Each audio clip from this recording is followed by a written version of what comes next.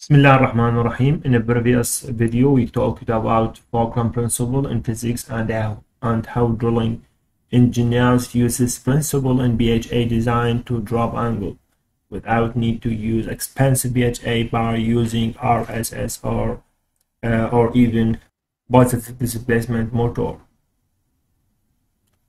Today, inshallah, we will talk about packed hole stabilization principle and how we can use this principle in drilling operation and BHA design to keep the angle at its required value.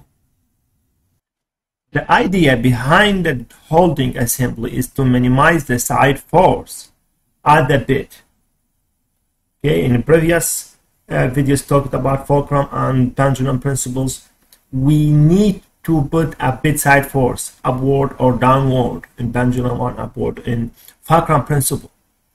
Okay, when the well is pointed in necessary direction and at the proper angle, it can be then locked. Locked BHA. We don't need more angle, drop angle or pull angle. We don't need it. We need to uh, drilling in tangent section so that it is drilled in straight line Okay, there's no change in the angle. This principle done by packed hole stabilization principle. We keep the angle at its value by using packed hole stabilization principle. Okay, and what is packed hole stabilization principle? Is placing the stabilizers closer together and the amount of bending between the stabilizers is substantially reduced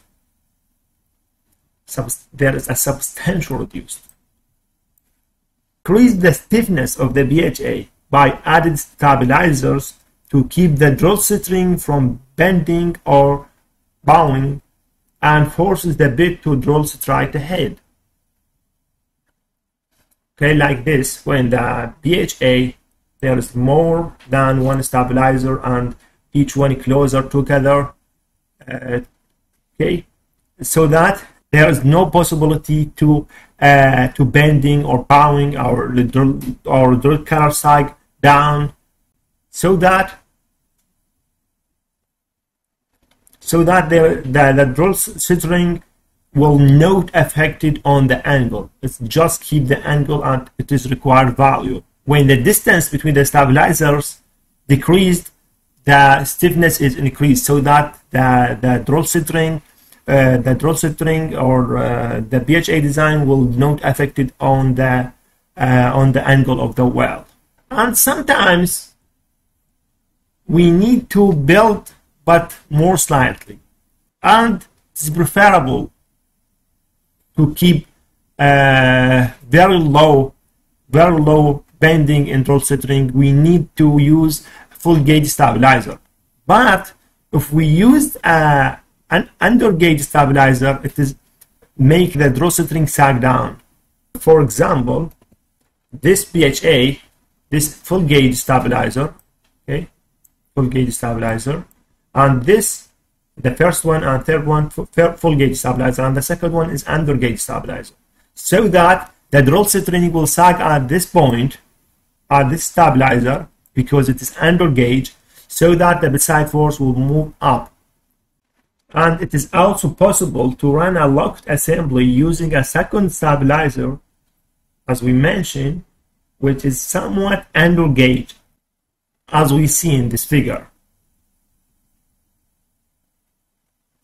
And this, when the bit side force for high side, this leads to an additional build tendency because the under gauge stabilizer sag down and make the BHA act like a building BHA or fulcrum BHA.